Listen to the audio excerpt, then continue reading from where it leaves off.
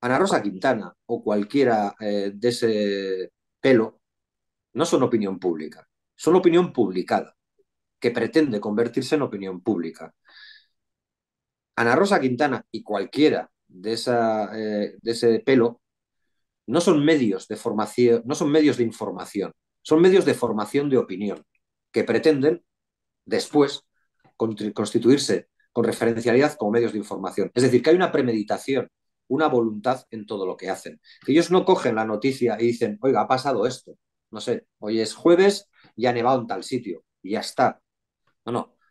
Ellos cogen siempre un ángulo y un enfoque que avale y sostenga sus intereses, porque ellos también tienen intereses económicos, porque ellos no se presentan ahí para decir voy a ser un narrador de la realidad, voy a ser un mero transmisor de lo que está pasando fuera o de lo que está pasando en un sitio concreto hacia el conjunto de los hogares utilizando este vehículo de transmisión. No, no, es yo voy a eh, cimentar una serie de valores y de ideas que a su vez fortalezcan mi posición y la de los que me pagan y la de los que me sostienen. Y esa es la realidad. Y si no entendemos eso, pues probablemente tengamos más dificultades para, para entender contra quién eh, nos enfrentamos. Es evidente que eh, la campaña de hostigamiento contra EH Bildu no obedece tanto a lo que decimos. Porque de la misma manera que puede, que haber cosas que digamos o que hagamos que no le gusten a ella o a cualquiera o a ti, es que no le gusten a alguien, algunas de las cosas que hacía EH Bildu, habrá otras muchas cosas que gustarán que hacemos. Pero esas nunca van a salir reflejadas. Y ni siquiera las que hacemos mal. Porque a Ana Rosa Quintana, como a Eduardo Inda, como a toda esta gente a la que hemos hablado, no les molesta eh, lo que decimos. No le molesta ni siquiera eh, dónde estamos. Lo que le molesta es que existamos.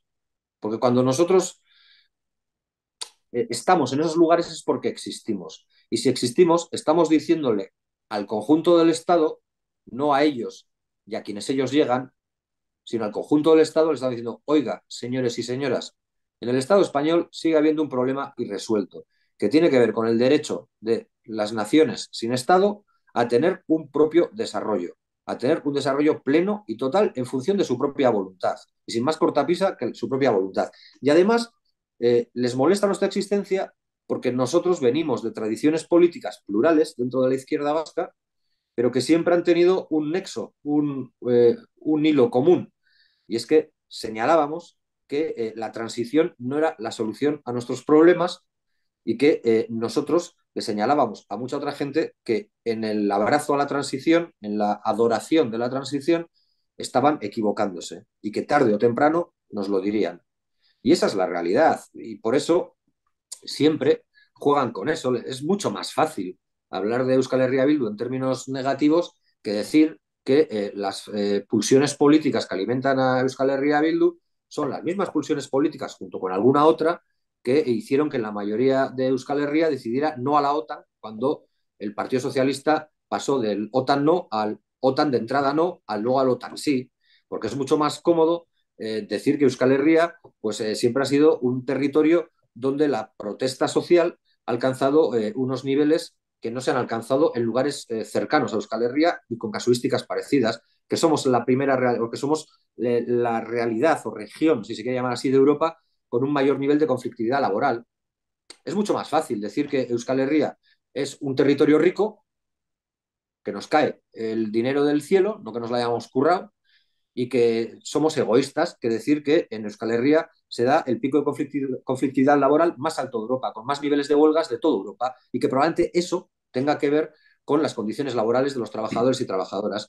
Y no se quiere decir tampoco que en Euskal Herria hay el mayor índice de sindicación de todo el Estado español, porque probablemente eso tenga que ver también con la mejora de las condiciones laborales a través del ejercicio y de la capacidad de presión de los y las trabajadoras. no vas a decir todo eso porque te afea el relato, porque al final tú lo que quieres es una sociedad donde, vaya, huelgas no, si se hace huelgas que sea contra Bildu, que es algo que nos podemos poner todos de acuerdo, ¿no? O contra Sánchez ahora, que es lo más malo, o contra Podemos por bolivarianos, pero no contra todo lo demás, hombre, no contra el precio de las cosas, que se enfada mi amigo Juan Roch de Mercadona, que me pagará mi pasta, o, o financia a través de no sé qué papeles, no sé qué partidos de derechas. No me voy a enfadar con el señor del corte inglés, que hasta hace dos días el que era señor del corte inglés, pues iba en listas de Fuerza Nueva o de Falange o no sé dónde eh, pude leer en su día. Bueno, me voy a enfadar con los bancos a los que yo les hago una campaña magnífica eh, para esas empresas en las que participan sigan instalando alarmas a base de los bulos de ocupación. Bueno, me voy a enfadar con, eh, con todas las eh, con todas las grandes empresas eléctricas que me pagan un pastizal por meter esos anuncios donde dicen que son súper majos y que tienen una responsabilidad social de la leche mientras están sableando o han estado sableando al Estado por un lado y a, los ciudadanos y ciudadanas a través de unos impuestos eh, o de, unos, de unas tarifas de la luz abusivas. Pues que esa es la, esa es la realidad, ¿no?